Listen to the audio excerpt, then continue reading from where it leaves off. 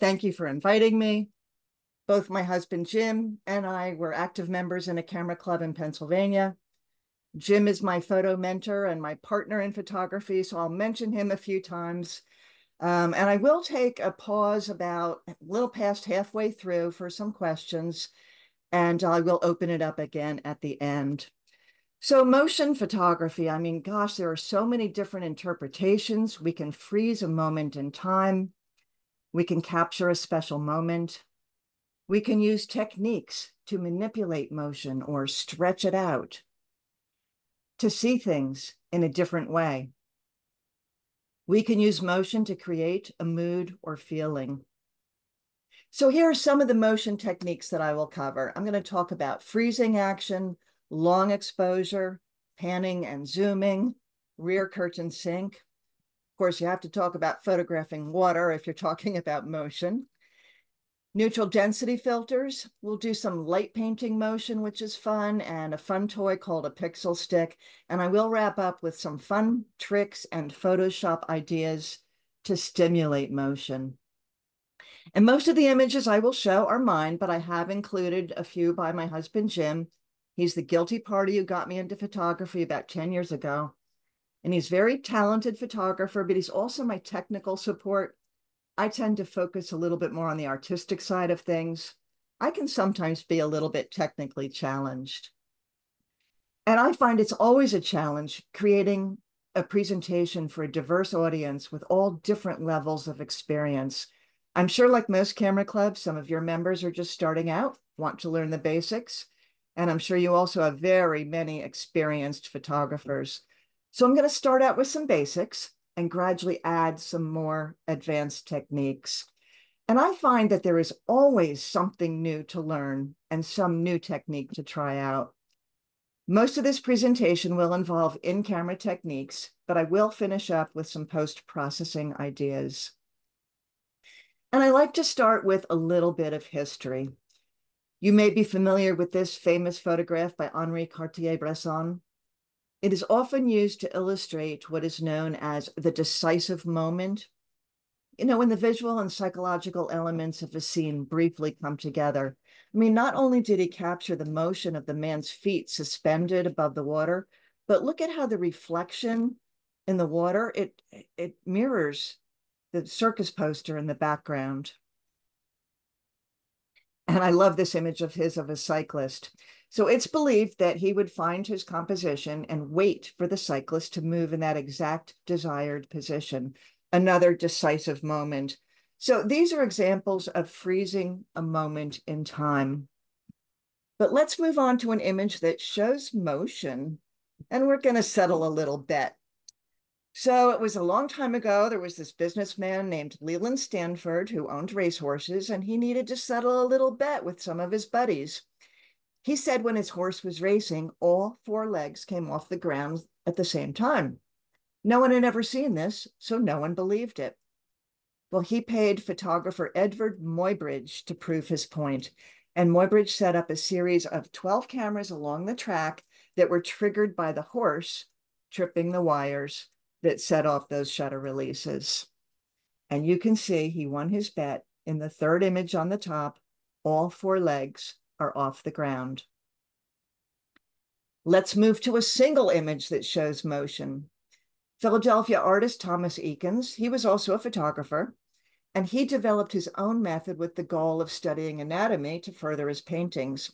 So whereas Muybridge's system relied on a series of 12 cameras triggered to produce multiple photos. Eakins used a single camera to produce a series of exposures superimposed on one negative. And I want to mention one more.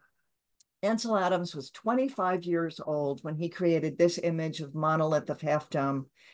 And he first used a yellow filter to darken the sky a bit. But his experience of what he saw was more dramatic than he knew he would get with that yellow filter. So after after hiking up a mountain with all this this heavy gear, he had only one glass plate left, and he tried a new red filter, hoping it would darken the sky to create the image he imagined or visualized. And this experiment proved to be a turning point for Ansel Adams because for the first time, he was conscious of the difference between what his camera lens saw and what he saw in his mind's eye as the final print. He discovered photographic visualization, a concept I will mention again later. So we'll be talking a lot about either freezing time or capturing a period of time, either using a fast shutter speed or a slow shutter speed. So cameras have a mode dial, either shutter priority marked on it. So set your mode dial to either S for shutter, or on some cameras, it says TV for time value to activate your shutter priority mode. So this means you tell the camera how long you want the exposure to be. And in most cases, you can let the camera decide the rest. So let's start with the most basic of techniques of motion photography. And of course, that's freezing action. And fast exposures can freeze actions that happen faster than the blink of an eye. This was shot at one two thousandth of a second. And you know, people ask about settings, so I will include the aperture and ISO on many of these images. But the most important factor here is shutter speed. A skateboarder in Central Park, frozen in midair at one five hundredth of a second. Here's my husband, Jim, just tossing cherry blossoms in the air. More skateboard antics. This one was taken by Jim. And here I like to imagine what thoughts must be going on in the minds of that couple with their feet in the air in the water. so fast shutter speeds are almost always used to capture sports events, to freeze the action. And when photographing wildlife, like this grizzly bear in British Columbia, I wanted to be sure to freeze any movement to get a sharp image. So, you know, one five hundredth of a second can freeze action. For faster action, like birds in flight, you probably want to go with maybe one one thousandth, one two thousandths of a second. So these images were all taken with the camera set to shutter priority. A hippo thrashing about while sparring with another hippo, and he was moving fast, so a very fast shutter speed was used to freeze the action. And I want to point out the magic of a fast shutter speed. I am not a bird photographer, but I did have a goal of capturing a hummingbird, so at least I got these shots. And I included this to make a point about motion. Think about the speed of a hummingbird's wings. They flap, or actually they're making a figure eight movement, an average of 50 times per second, much faster than you can see with your eyes. So think about the bet on that feet of that racehorse that no one had ever actually seen all four feet in the air. Without high speed photography, we would never see the wing of a hummingbird in flight. And a great place to practice capturing motion, not far from where I live, is a place called Middle Creek Wildlife Management Area. And in late February, early March, tens of thousands of beautiful snow geese stop here. And it's just an amazing sight and sound when they all lift up in unison. And close to sunset, they fly in from the fields to roost on the lake for night. And this is a good example of what your camera can see, but your eye cannot. You know, sort of like a like a ceiling fan uh, spinning around, and you can't see the individual fan blades. These snow geese, they they flew and circled, and when you're there, you experience this amazing motion, but your eye cannot freeze and see the scene like your camera can. And these are tundra swans at Middle Creek, and I think they can be quite graceful when flying overhead. And another fast shutter speed to freeze the action of a street performer. So Jim and I were fortunate to go on a photography club trip uh, to Cuba, where we visited a local dance studio.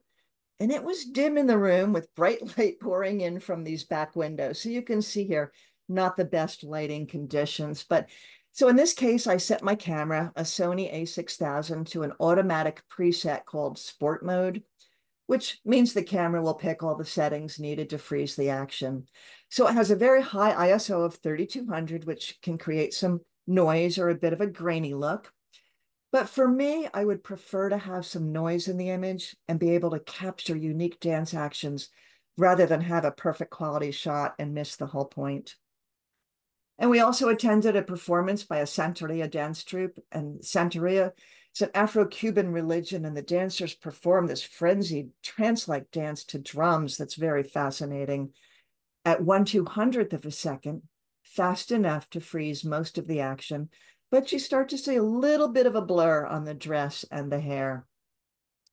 So those examples were all done with natural light, but the burst of a flash is much faster than the shutter speed of your camera. To really capture high speed movement, it is best to use a flash. So although the shutter speed is 1 250th of a second, the motion is frozen by the flash, which is actually faster, you know, maybe as fast as 1 10,000th of a second. So these were done at home just by dropping colorful objects into a fish tank.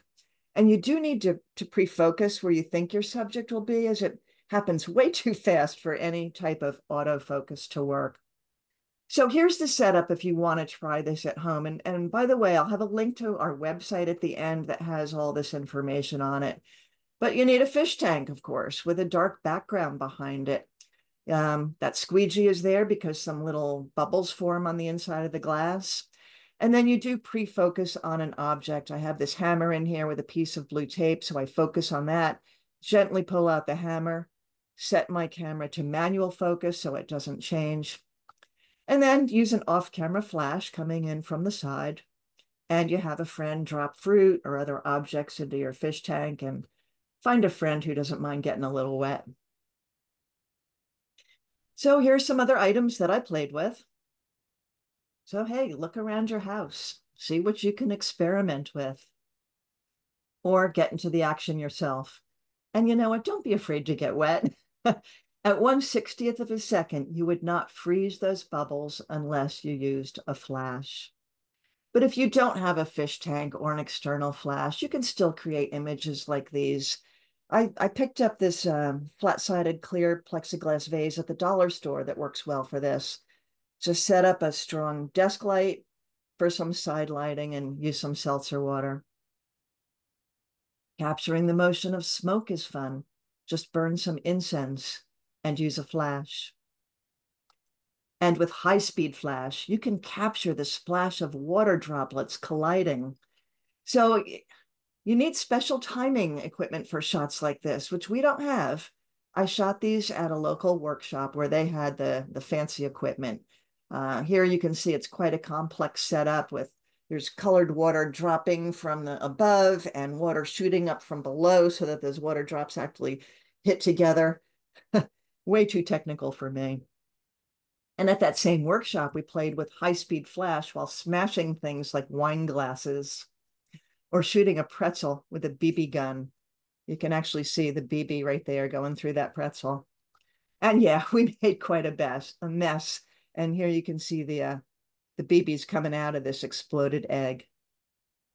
And we had some fun with high-speed flash with a dart thrown at water balloons. And somehow this equipment is triggered so that it flash goes off right when that dart hits the balloon. So that was all high speed flash. Well, images can be recorded in a fraction of a second or over much longer periods of time. Fraction of a second, the movement is frozen. Now it's slowed down to 1 15th of a second, introducing some blur and allowing the camera to capture the movement of the birds. And I think even with wildlife, I, I think longer shutter speeds can lead to surprising new images. So you know, experiment with different shutter speeds to make creative photographs. Fast shutter speed, slower shutter speed, neither one is right or wrong. Just depends on what you're trying to convey. I love this capture by Jim. It's one of those snow geese at Middle Creek. And here's one of mine, quite surreal, maybe a little bit haunting, I think. Or slow that shutter down a bit to capture the motion of snow flying in an open window if I had shot this at one five hundredth of a second or faster, the snow would have been captured as tiny specks instead of these streaks, which gives more a feel of motion. And time exposures can allow us to record, record things we can't see with the naked eye. You know, we can stretch out those streaks of light, the headlights on the left, the tail lights on the right. And I love trying to capture a mix of static objects and moving objects the people standing motionless while the train speeds by. And with a long shutter speed, people in motion start to take on ghost like qualities. Quite abstract, but you can still tell this is a train speeding by. And this was a highway. The cars were probably doing, I don't know, 60 miles per hour. So this was a two second exposure to capture those streaks of light. But in a small downtown, the cars are moving much slower. So this was eight seconds. And the camera's on a tripod, which of course is a must when doing an eight second exposure.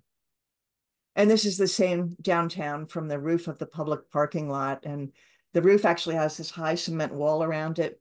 I actually had to raise the tripod in the in the air and brace the tripod legs against the cement wall to get the camera high enough to get this shot. So I kind of had to guess at the direction of the camera. Lucky guess. All right, so let's move on. Setting up the scene and waiting for something to happen, like Henri Cartier-Bresson's famous image. Believed that he would scout out his composition and then wait to capture that precisely timed, meaningful moment. Find a good location, then wait for subject matter to enter the frame and complete the composition. So here are a series of images by my husband, Jim. This is at a reenactment of the Revolutionary Battle of the Brandywine. And he was attracted to the repeating patterns of the soldiers' tents. So he just kept moving around and, you know, he framed a nice composition of the leading lines through these two rows of tents. And every so often, some of the soldiers would walk through the frame. So he just stayed there for a while, hoping to capture someone of interest at just the right moment. And there it is. When this young soldier walked through with the drum on his back, he felt he had something special. And I agree. I had the same idea in Cuba. I was fascinated by the colors and shapes of this painted wall, the peeling paint on the door. So I just sat on the curb across the street and I watched the people going by and this guy in the pink cap, he wasn't going anywhere. And then I noticed that the low sun was creating some dramatic shadows on that wall. And I thought, oh, gosh, can I get the man with the cap perhaps showing an interaction with a shadow? And then it happened. Here's my finished shot. I think it's graphically pleasing, and I love the story and the expression on this man's face. Another example by Jim at Grand Central Terminal in New York City. Bright sunlight was pouring in at this low angle, creating these long shadows. And he positioned himself in the middle of the commotion and waited. And he started out by framing the people. Then he tilted the camera down. He started to focus less on the people and more on the shadows. And again, he's just waiting for something interesting. And here it is. This was the decisive moment. The foot on the left and the foot on the right, you know, they're both lifted off the floor, showing the movement.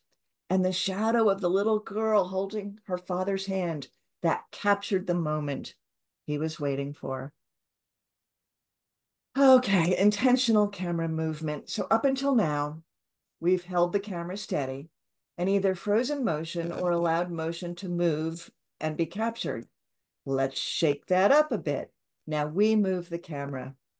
Intentional camera movement, or ICM as is sometimes referred to, kind of a different branch of photography altogether. And, you know, the final result produces um, uh, a blurred, colorful, maybe abstract image. And so think of it as being like an expressionist painter. And panning is one of the most popular ICM techniques. It is easy and fun and using a slower shutter speed, maybe 1 30th, 1 15th of a second, you swipe your camera up or down. You are panning your subject, sometimes called swipes. and part of the fun of panning is that you never really know how your image will turn out. This is another example of how our eyes and the camera see things differently. If you look at a tree with your eyes and move your head up and down, you will likely see the tree well defined but the camera doesn't. It sees a blur.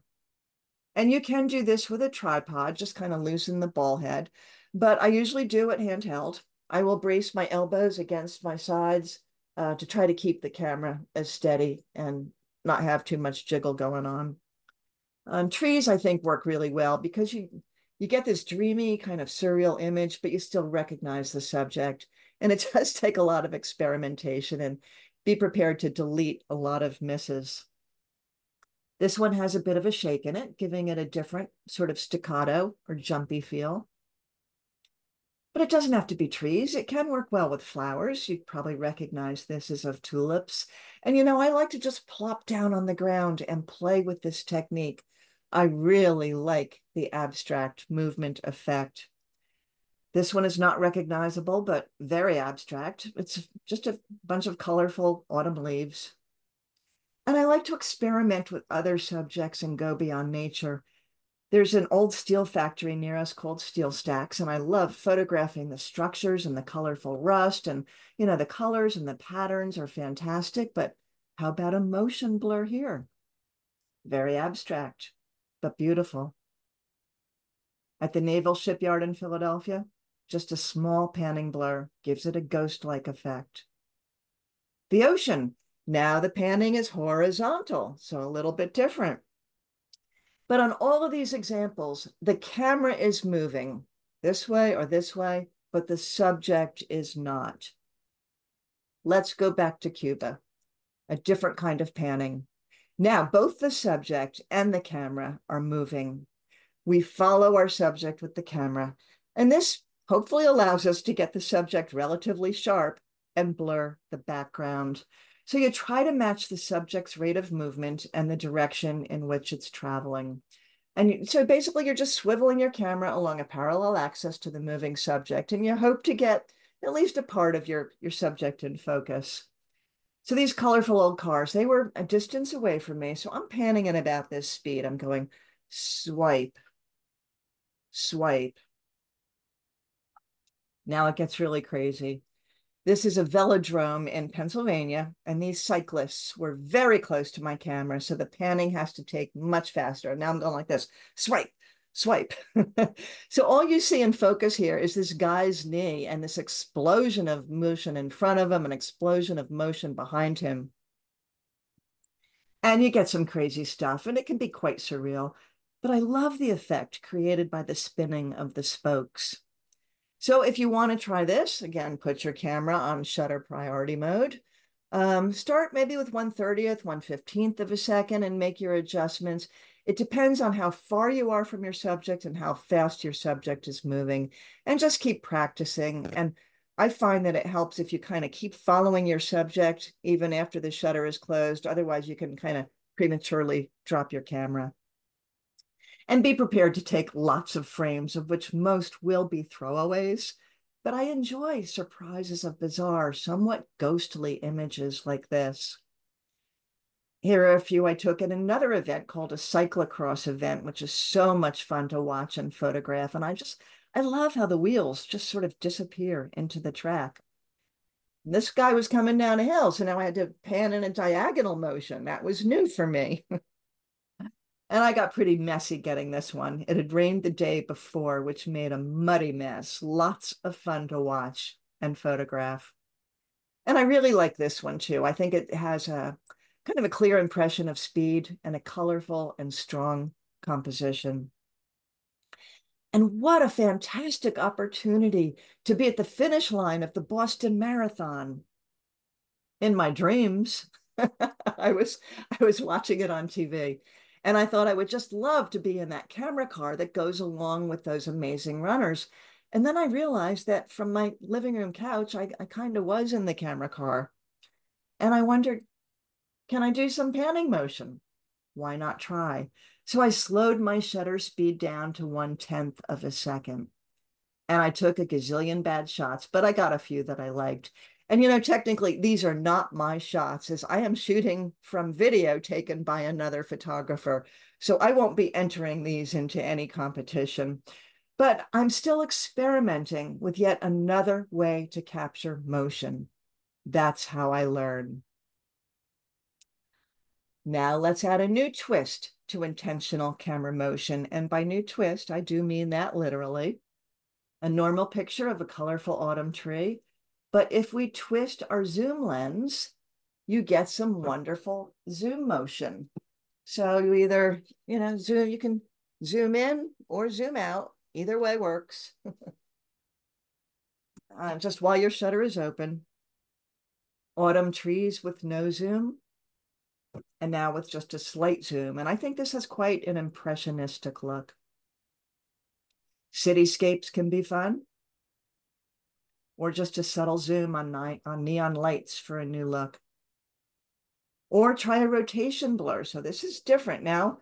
I take the entire, I'm now just rotating the entire camera while the shutter is open. and then there's a mistake. I do this a lot, by the way. I didn't even know I took this shot. Not sure if you would call this a zoom or panning or what. I was up on this ladder to get above the sunflower field, and I don't know, I must have pushed the shutter button on the way down, but I think it's kind of fun. And a perfect time to practice these motion techniques is with holiday lights. So here is the traditional Christmas tree shot. But watch what happens after I have a glass of wine. It's having a bit more fun. I like that. I think I'll have another. And with some more wine, it is really starting to party. Disco party. okay, this one may have been after a little bit too much wine. It's actually a combination of a zoom and rotating the camera at the same time. Again, a combination of panning, twisting, and a zoom blur. Basically, a hangover. so these are actually holiday lights on an outdoor tree. I read an article by Olympus about doing these rotational blurs, and I decided to try it out. So I put the camera underneath a lit tree and spun the camera. And a crop of one of my experiments, this of course very abstract, but I, I like how you can see the effect of those pulsating lights. Uh, so these were hard to set up and try to get the camera on a tripod pointing straight up. And, you know, as usual, I wound up with some surprises. it was freezing cold out. I had my gloves on. I probably hit the shutter and didn't even know it. So I got home and I had this image and I thought, wow, that's different but I kind of like it. All right, let's move on to water because we can't have a conversation about motion photography without talking about water. I think water is one of the best subjects to experiment with different shutter speeds to get very different results. Fast shutter speed to capture and freeze the motion of water flowing over a sand dollar, or slow down to freeze the subject but blur the moving tide as the water sweeps back to the ocean. But uh, if you try this, hold on to your tripod. I almost lost a camera as the, the ocean almost swept it away. And this one is somewhere in between. At one tenth of a second, the splashes hitting the rocks kind of appear stretched out and are emphasized. Uh, this great blue heron was flying in one direction over rapids going in the opposite direction. So to freeze the motion, very high shutter speed was needed. And of course, we have to talk about waterfalls. How do you get that smooth water flow? Some call it maybe a silky or cotton candy look. Do you want to get that look? That's up to you. Here you see the detail in the water, the crunchiness of it, relatively fast shutter. Same scene with the shutter opened longer with that silky look. And again, neither approach is right or wrong, whatever you like. So let's talk about waterfalls doing different shutter speeds. So here's the same flowing water at different shutter speeds. So I started out at one one thousandth of a second. Now it's slowed down to one fifteenth of a second. You see, it's already got quite a different look. Let's slow it down to one sixth of a second. It's even smoother. And now a full half a second. Um, so I just wanted to show what a different look you get with different shutter speeds. But now let's get into how shutter speed affects exposure, because the more time your shutter is open, the more light comes in to your camera. So for these examples, I have switched to manual mode, which of course means I am in control of all the camera settings. I started at 1 250th of a second and froze the moving water. Notice it's sort of crunchy in the foreground. Now at 1 15th of a second, a blur starts to occur still fairly sharp in that pool area in the center. Now it's a bit overexposed because I'm on manual, but that could be adjusted by lowering the ISO. Now at a full second, notice swirls are starting to form in the pool and the waterfall and cascading water in the foreground have a smoother appearance. At two seconds, even more motion is captured, but it's a bit overexposed. My ISO is 200. Let's cut that in half to 100 and see what happens. Same two seconds. So the look of the water is basically the same, but at ISO 100, the exposure looks pretty good. What happens if we go to four seconds to go for an even smoother cotton candy look? Well, now so much light is coming in that the image is again overexposed. I'm already at the lowest ISO my camera has. Well, yeah, I know some of you are saying you could change the f-stop, but for this example, I'll leave that constant. Instead, I will add a neutral density filter on the front of the lens, kind of like putting on sunglasses. And while that, that will cut down the light. So by adding that filter to cut down some light, the exposure looks much better. And I now have that smooth, dreamy look to the water. And here's one more to full six seconds. Maybe too much smoothing out of the water for you, but that's up to you as an artist. A few more waterfalls to be sure the surrounding landscape is in focus during a long exposure. Of course, a, a tripod is essential. I can now check this one off my bucket list, a spectacular and very popular waterfall in Oregon. And one of the largest waterfalls in Iceland with this drop of almost 200 feet. And you can walk right up to the base of it and you get wet, but, but it's worth it. I do love this lone figure just dwarfed by the power of nature.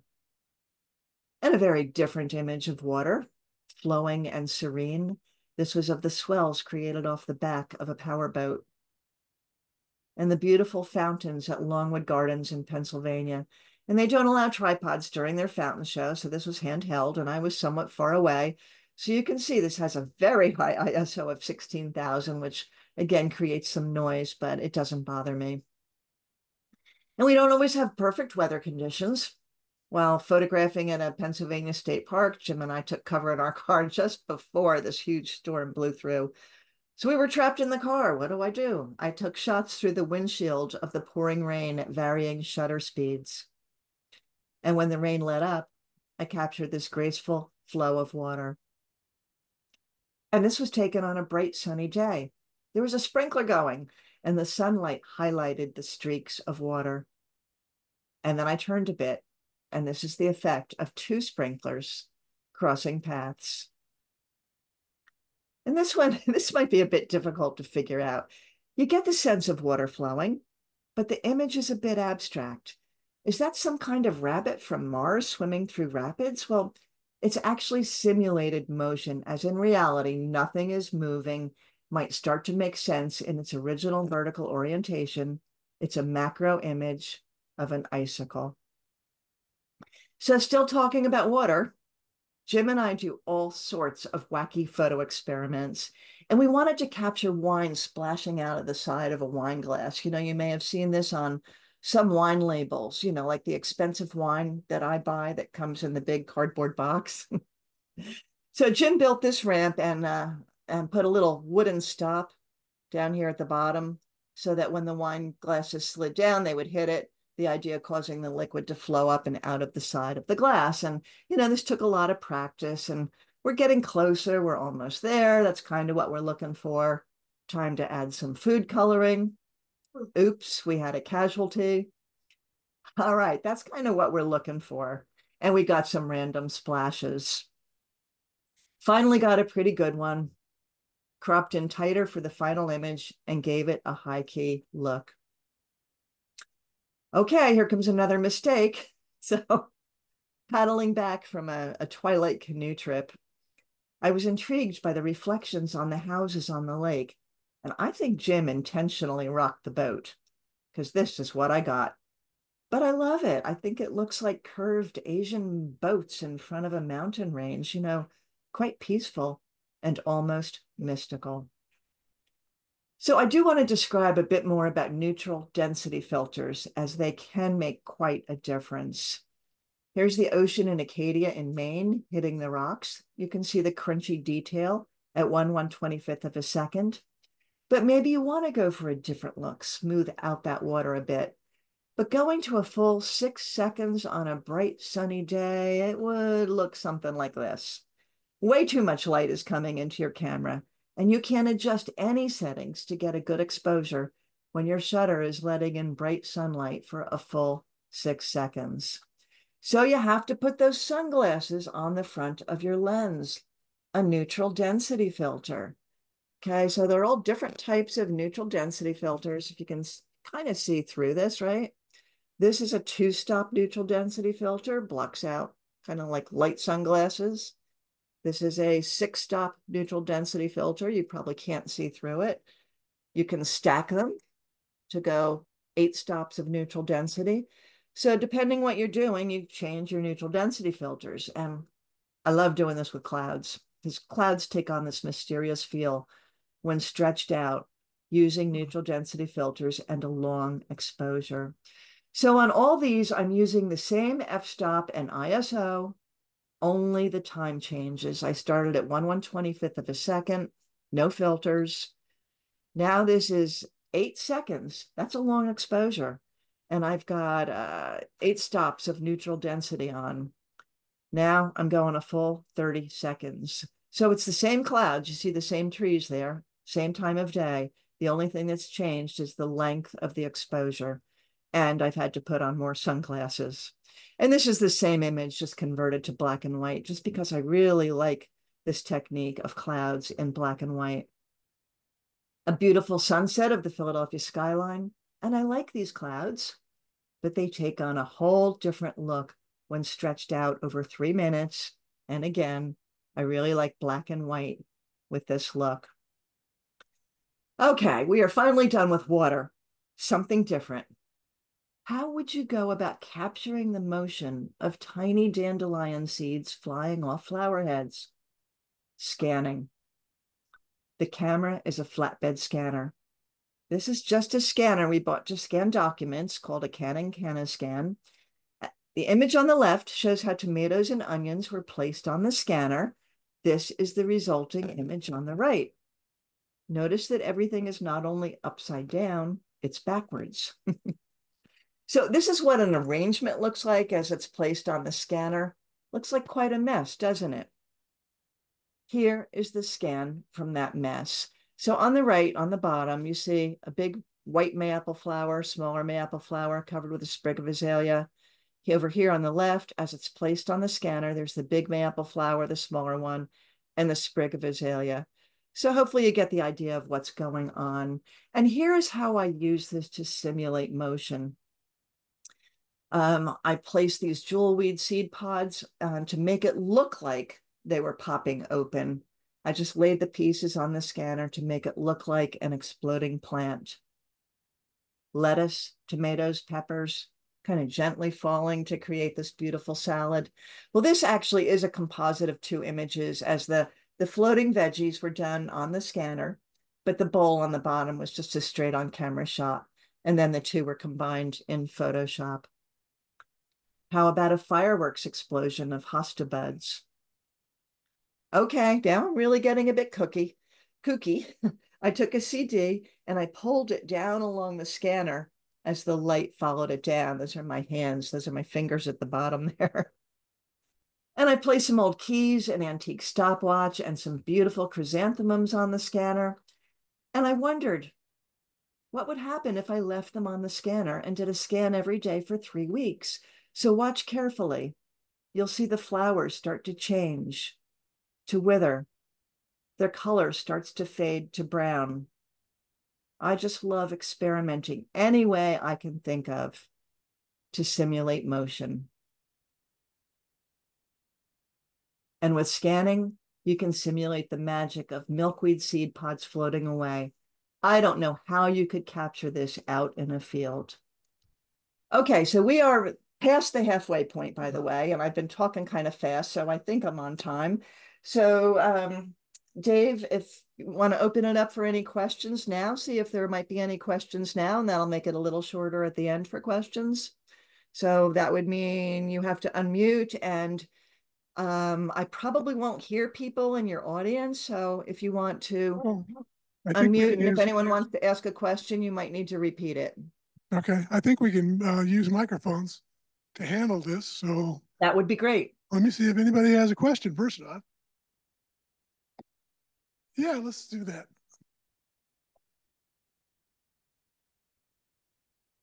Hey, Ah, I can see everybody. Cliff, everybody. time to wake up. Tell us about the scanner she was using. Go ahead, ask her. What can you tell us about the scanner you were using? Okay, the scanner I'm using, it's called a Canon CanoScan 8600 is the model. Um, when we bought it, it was like $130, I think. We looked recently and they now go for about $300, but it's not anything real fancy. We just bought this to scan like household documents, but it has very high resolution, so you get really strong detail with it. Well, Any sir, other thank you. questions? Any other questions? Everybody's looking at me like I'm crazy. Well, they know that, I guess, but wait, hang on. Gene has a question. Okay, So I have a question about rear curtain sync. I know that Sure. you were co- covering that. I will be covering that next, actually. Oh, never mind then. Okay, so I know we're on a tight timeline, um, so I will continue and we will go right on to rear curtain sync. How do you like that? There was a gene, there you go. So, um, when shooting with flash and using a slow shutter speed, you can record movement and freeze it at the same time. So here I held up four golf balls. Jim opened the shutter. I dropped the golf balls. They bounced down, bounced back up, suspended for a fraction of a second right there before coming back down and then flash. The flash went off to freeze those golf balls there. So I did a selfie here with a, a 10 second delay on the timer. So there is a setting in most cameras called rear curtain sync. So basically when you when you take a shot, the first curtain opens, letting the light into your camera. Then at the end of the exposure, the second curtain closes and then they reset and they're ready for the next shot. Well, with rear curtain sync, it opens up and with ambient light, action is moving. And then near the end of your shot, flash, and then it closes. So you can see the motion as I move around with the ambient light, and then the flash goes off at the end, so something is in focus. And I experimented with some light sticks and probably some wine while Jim is in the room behind me trying to ignore me. and we played around with this, trying to make it work. This is a two second exposure as I move through the frame, through, through the frame. And again, the flash goes off at the end. And I, I like this one. I think it kind of looks like my hair blew off. And we had this mottled gray background set up, which is why you see sort of a, a smoky textured look. And I like that textured look, but this isn't quite what we were trying to achieve. So I asked for a black background for my birthday. This is the look we wanted to create with the black background. And I relied on Jim as my lighting expert. So to the to the right, up here is a um, a continuous light and a big softbox to diffuse and spread the light. And that's providing the light as I'm jumping around over here. And then at the left is a speed light, a flash that flashes at the end of the exposure to freeze this portion of the action.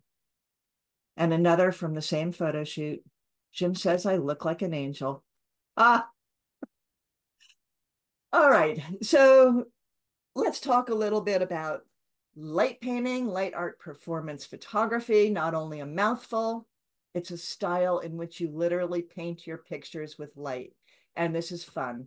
And the crazy part is it's created with only one picture, no Photoshop skills needed. You just grab a light and experiment. Uh, if I was in the room with you, I'd ask you to guess how I did this. Maybe some of you can guess.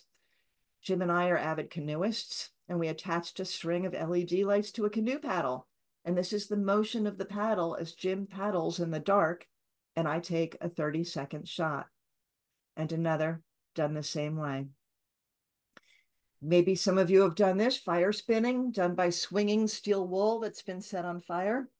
Our camera club hosted a, a workshop, and we did this at a safe location, at a firefighter training location. And with a slow shutter speed of 10 seconds, you capture this rain of sparks flying down. And of course, we did something similar at home. So now Jim has me holding a grinder on a piece of sheet metal to create those flying sparks.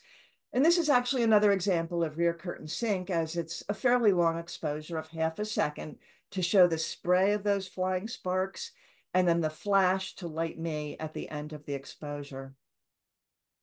And then the next thing I know, Jim asked me to wear my dark exercise clothes, and then he's wrapping these colorful string lights around me.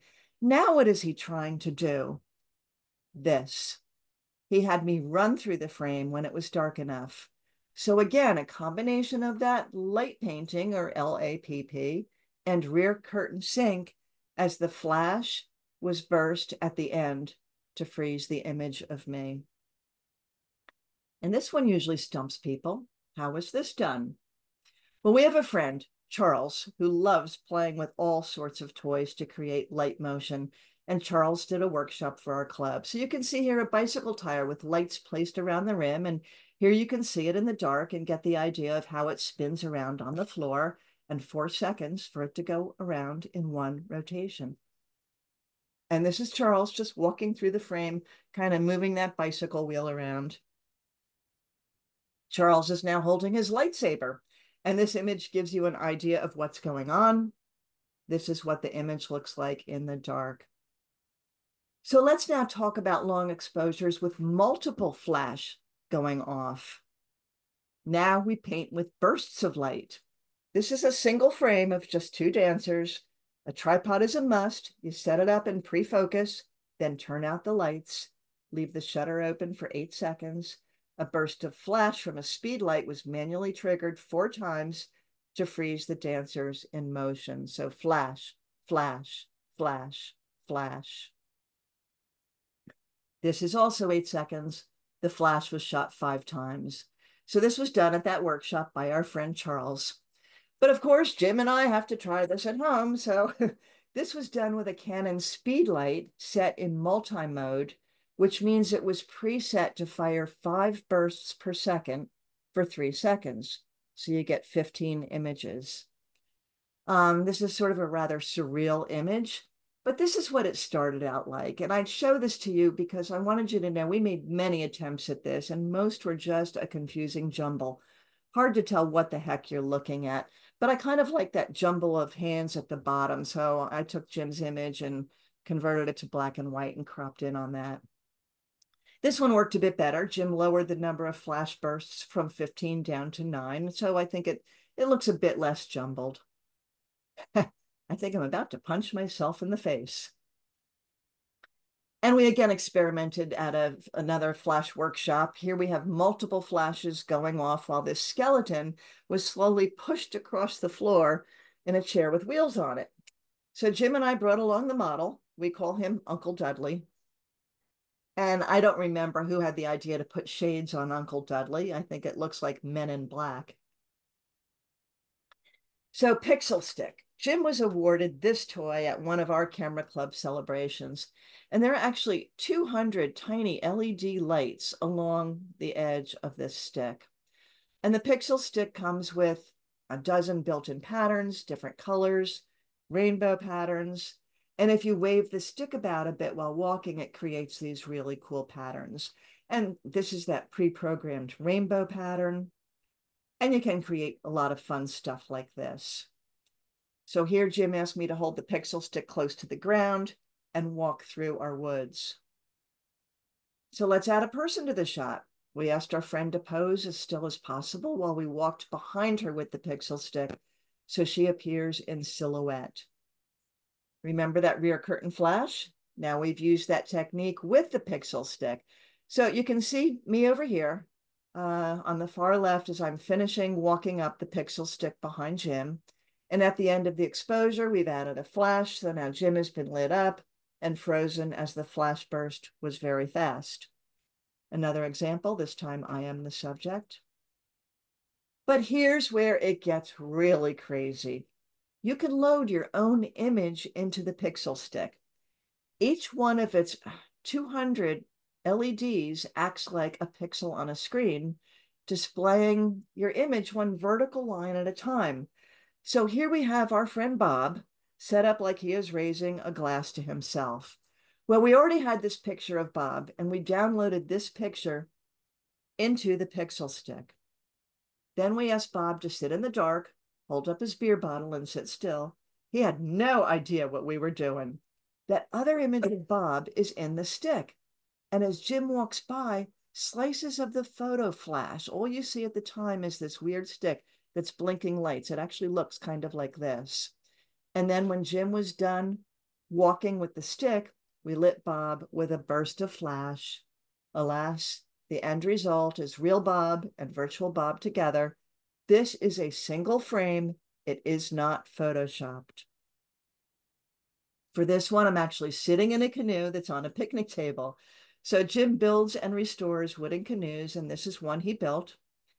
We took an image of the ocean and loaded it onto the pixel stick, and then Jim walked by me twice, once with the ocean image on the stick behind me, and then again in front of me.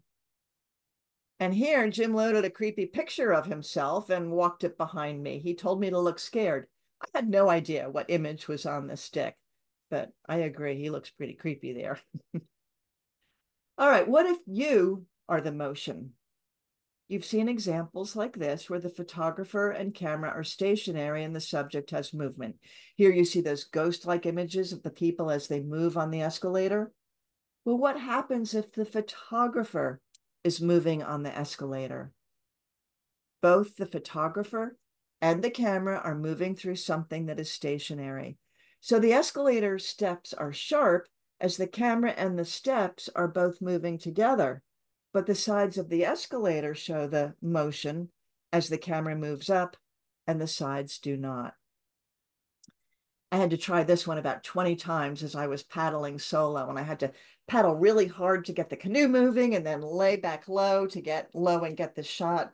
And I had a lot of misses. So this is that same canoe that Jim built. But you get the idea. The canoe is sharp as the camera is moving with the canoe while the grasses in the water appear to glide by. Okay, now we're going to take it up yet another level. What if you are in a car going 25 miles per hour while you pan a subject? As the car goes by, you rotate the camera to keep the subject in the frame. You do need two people to do this, a driver and a photographer, and you get this swirly, crazy rotation effect. I'm going to try to demonstrate here quickly for you.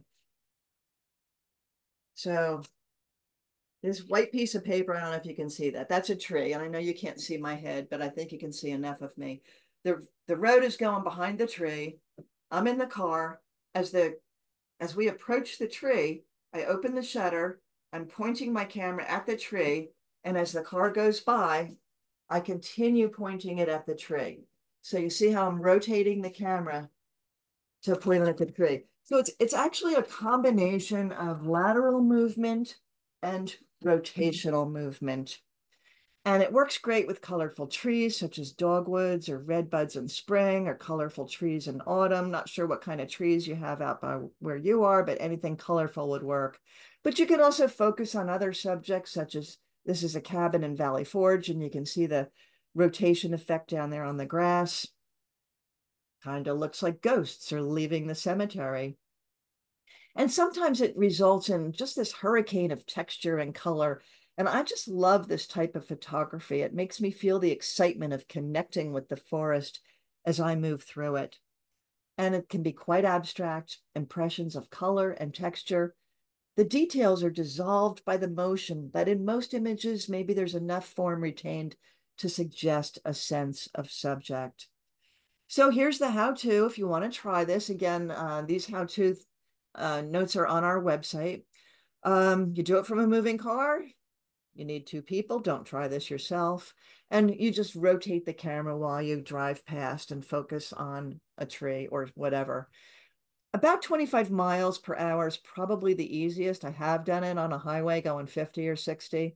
I usually use 1 15th of a second, and it does take a lot of practice and be prepared to go delete, delete, delete, delete, delete. I'll literally take maybe a 100 images before I get one that I like. Okay, up until now, all of the images, with the exception of that falling salad, have been done in camera. No Photoshop, necessary. Let's look at ways to create or simulate motion using some post-processing tools. This looks like a zoom blur, but it's actually a fully focused sunflower. This radial blur was added in Photoshop, and I'm not going to get into any how-to specifics in Photoshop, as that would be a whole other presentation. I just want to share a few ideas of how you can use post-processing to simulate motion. I wanted to capture fireflies and create sort of a magical fairyland look. So I took about 20 shots, each one six seconds, to capture the movement of the lightning bugs. And then it's, you know, it's quite easy to blend them together as layers in Photoshop. Here I started with a normal shot of birch trees. And in this case, I added the blur in Photoshop. But this is different than the panning blurs we did before because I wanted to add some of the bark texture back in. So here in the final image, you see just a hint of the texture. I'm going to go back, no texture, little bit of texture um, just a little bit of texture on the bark of these beautifully blurred trees. So this was done by bringing both images into Photoshop as layers and then just brushing a bit of the texture from one image onto the other. Back to setting up the scene and waiting for something to happen. This time I'm going to give it a little Photoshop help.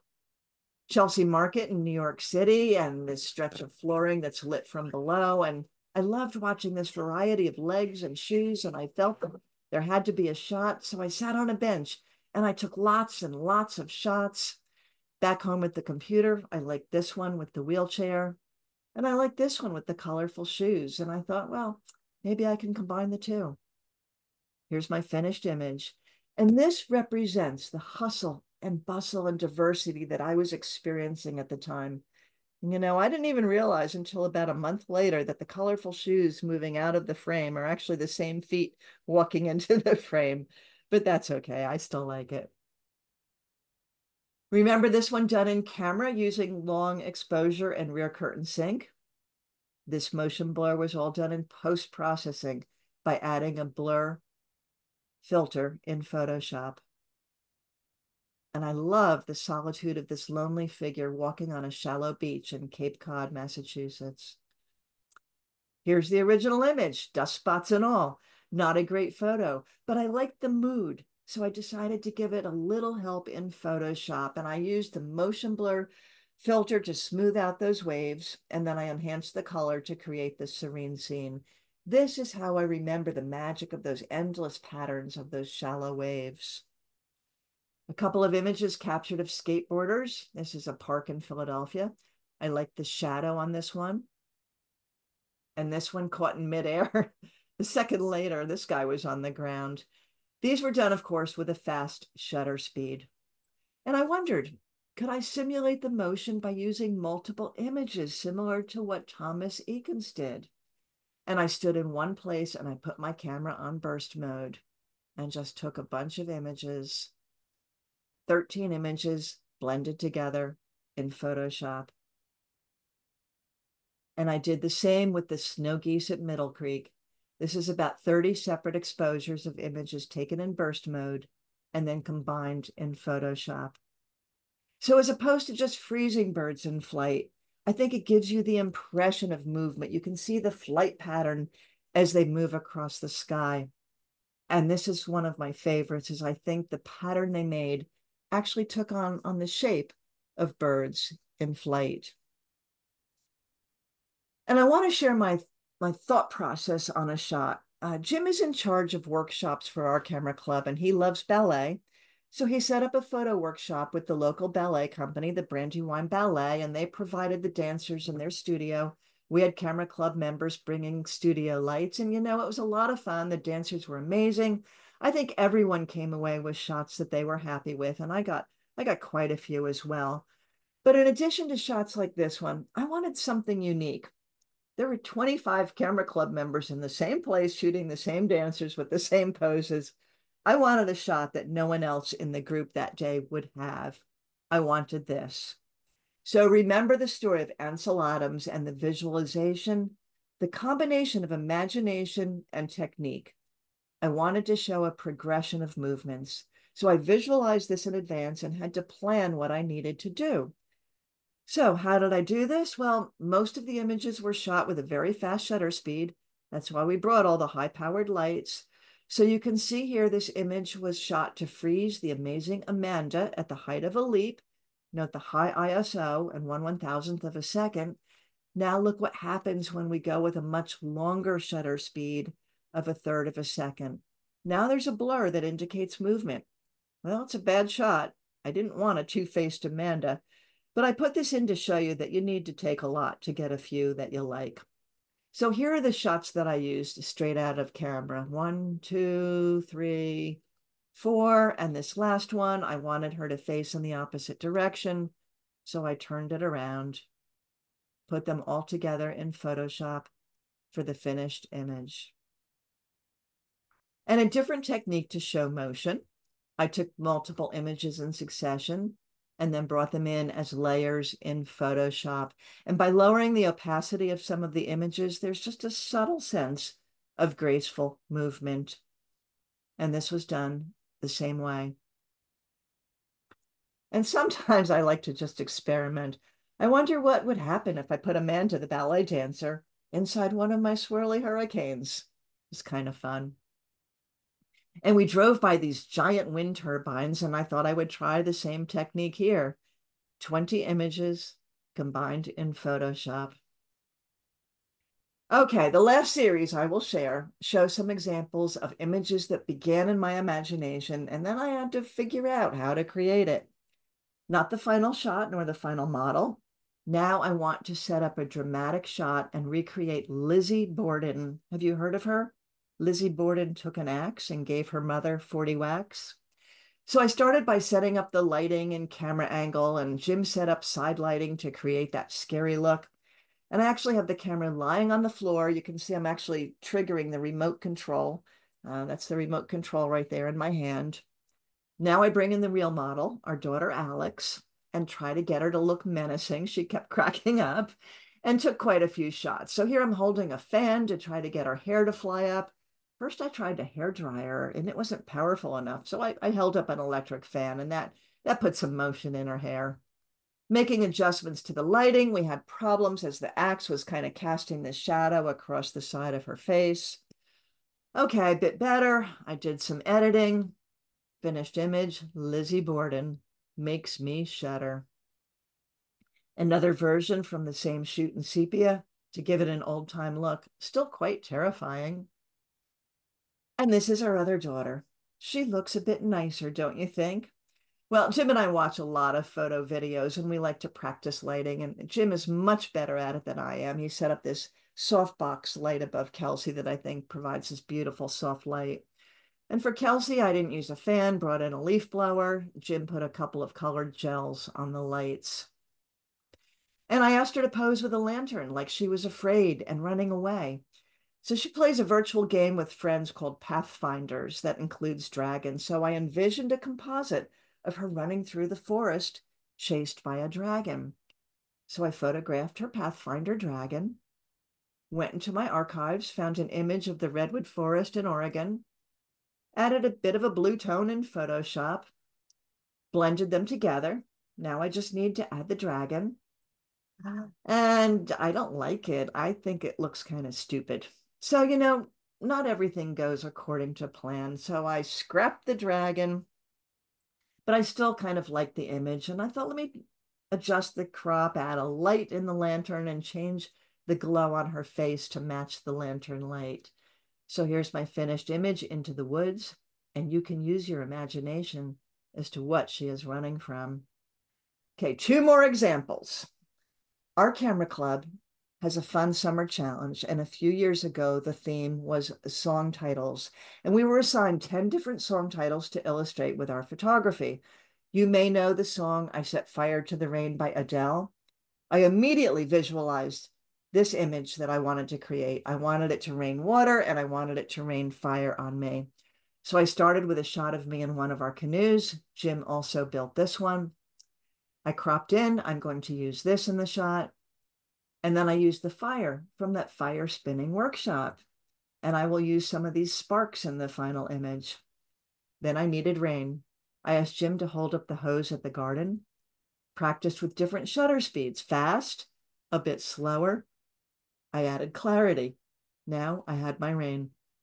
Next, I composited the rain, the sparks, and the image of me. You can see up here how I, I brought the layers in on an angle to hit the umbrella the way I wanted. All I need to do is add some sparks on the umbrella, finished image, I set fire to the rain. So these summer challenges are a lot of fun, force us to think outside the box and get creative. And I have done some wacky and embarrassing stuff. This is the last one. so you may know the song. It's all about that bass by Meghan Trainor. Well, if you do, you know it's actually all about one's derriere. So an image popped into my mind. There was this rather famous image making its rounds on the internet of Kim Kardashian with her rather shapely butt. Mm-hmm. So yeah, I have no shame. I'm going to try to replicate this shot of Kim Kardashian. I did this when Jim went out as I was too embarrassed to even let him know what I was doing. So you can see him holding the remote in my hand. I'm trying different poses and I bring in the props. This is the one I went with. Remember those wine glasses with the splashing wine? Here they are again. Finished image. Yeah, it's pretty clear. I ain't no size two, but I can shake it, shake it like I'm supposed to do because you know I'm all about that bass. So yeah, you know, we get a bit stir crazy, maybe while stuck at home due to COVID, wildfire smoke, bad weather, whatever. But there are so many photo techniques you can learn and try out at home. You don't need to travel. Just experiment, try something new, and have fun. And I have had fun giving this presentation to you. And I thank you so all of you, I say thank you. And I will share one more image with my contact info if you want to write it down. Our website is called letscapturethemoment.com. And if you go to a heading along the top called Photo Fun, you will see more in-depth info on many of the techniques I covered, those uh, swirlies that I did, the scanning, um, the multi-flash, a, a lot of that is on our website under photo fun. So, and uh, I think I have my, yeah, I have my email on there, bwilson1773 at gmail. If you want to try something after tonight and can't figure it out, if you want to send me a question, please feel free to. Mm-hmm. So with that, I will again say thank you. I will stop sharing my screen and open it up for any questions or comments. Thank you. Oh, I can see a silhouette of a hand clap. Oh, there, there you are. Thank you. Hang on one second, Betsy. We'll see who's got any questions. Okay, thank you. Mm, I don't see any hands coming up. well, hopefully I've But- inspired some people to try something new. Anyone learn anything new? anything you want to try, hopefully.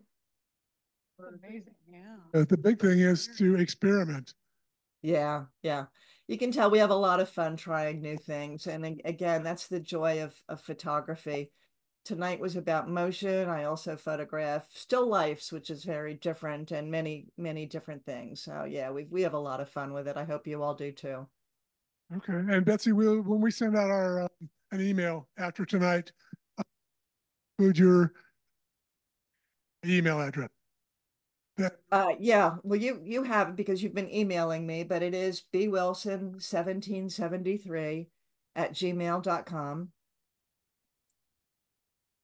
So if you want to put that in the email that you send out to your members, feel free to do that.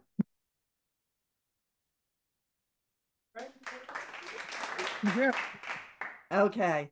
Thank you, everyone. Good luck with your uh your uh session that you do now. I'm sure you're going to have some wonderful images. So I will sign off, let you get on with your business.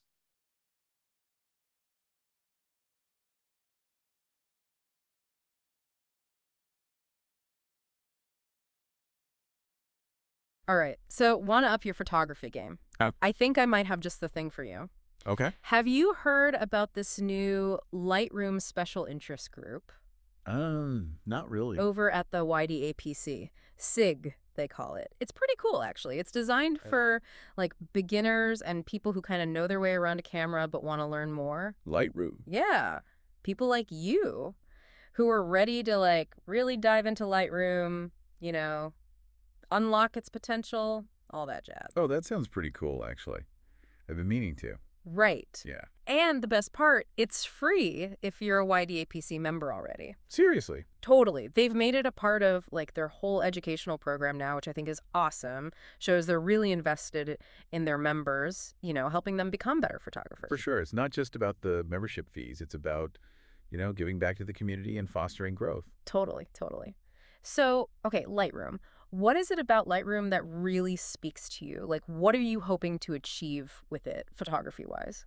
Honestly, I want to learn how to really edit my photos. Like, Yeah. make them pop. You know what I mean? I can take a decent picture, but the editing part, that's where I get lost. I feel that. And what I find interesting about this SIG is that they're not just throwing information at you. It's this whole two-pronged approach. Oh, tell me more. So you have your like typical classroom sessions, right? Okay. Learning the concepts, the tools, all that good stuff. But then, and this is the cool part, they have these guided editing sessions. You actually work on your own photos. And Cindy Beachwood, she's the one leading it. Oh, wow. She gives you feedback directly. That's amazing. So you're not just like passively absorbing information, you're putting it into practice right away. Exactly.